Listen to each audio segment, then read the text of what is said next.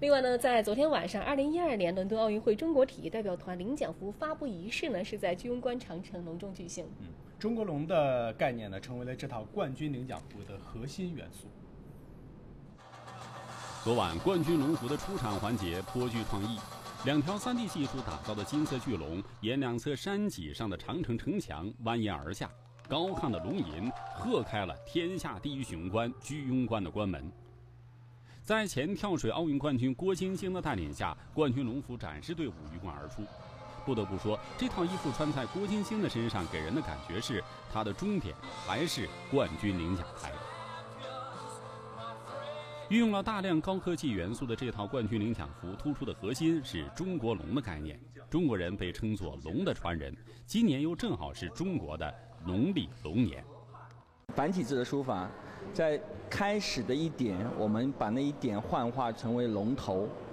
然后在龙尾的笔触上面，我们是把一条泰晤士河的一个大家知道泰晤士河蜿蜒曲折穿过伦敦市区，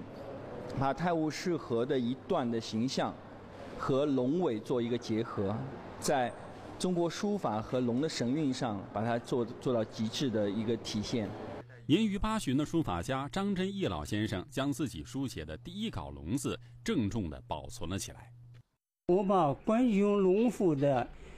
第一稿的龙字，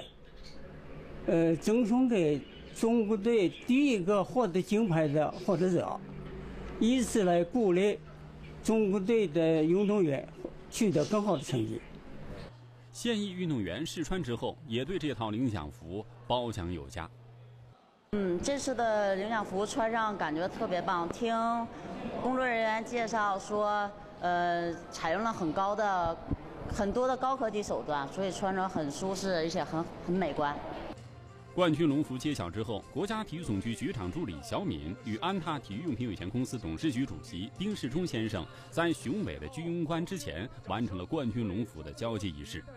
期待一个月之后的伦敦赛场，有更多的中国健儿穿着这套冠军龙服站在奥运会的领奖台上。